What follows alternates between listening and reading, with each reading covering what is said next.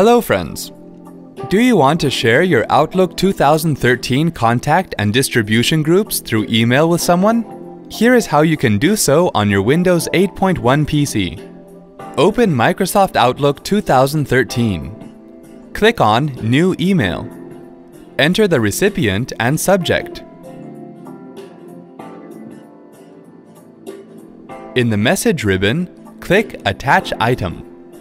Now select Outlook item and click on Contacts in the Look In section. In the bottom pane, a list of your contacts and distribution groups will appear. You can select the contacts and distribution groups which you would like to attach to the email. Click OK and then click Send to send it. Wasn't that helpful? Thanks for watching.